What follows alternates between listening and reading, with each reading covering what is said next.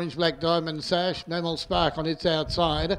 And then Kalara Ninja, Maverick's drawn on its outside. Sky Falcon, the widest runner off the front, hijacked. And uh, Montana Shadow. They're all set, ready to go. Race six on the program. Armfold Racing.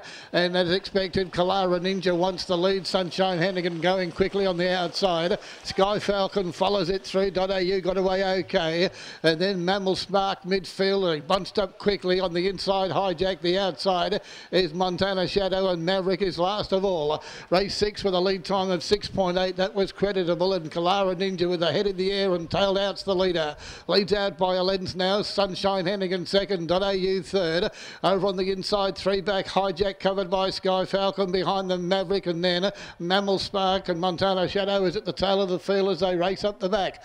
No change, 30.1. And they go to the top with the leader, Kalara Ninja, doing it okay. Gee, looks well. .au second, third, Sunshine Hennigan. Fourth on the inside, then as they sweep the corner, hijack Sky Falcon covers at the outside. In behind them, Maverick, Mammal Spark, and last of all is Montana Shadow as they race into the straight to hear the bell. They'll get to the winning post with a lap to travel a little more than a half mile from home in race six on the program. And this leader's going okay. Kalara Ninja set out $1.50.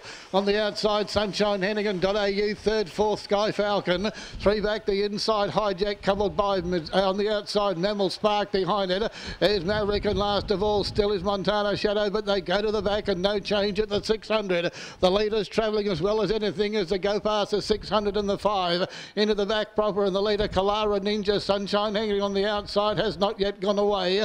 .au's running third and as they race up the back many chances behind them. One galloper Mammal Spark Montana Shadow missed it went around the outside on the inside was Maverick but past the 400 29.4 that quarter they're to the 300 he's bowling the leader now. It's Kalara Ninja gee it looks good in full flight out by four seconds Sunshine Hennigan Sky Falcon on the outside .au behind them there's going to be a great race for the minor placing. .au getting through, but Kalara Ninja far too good. Gee, looks bold as he goes to the line. He scored many, many lengths. Kalara Ninja, easy win. Second, Sky Falcon. Third, very close, maybe.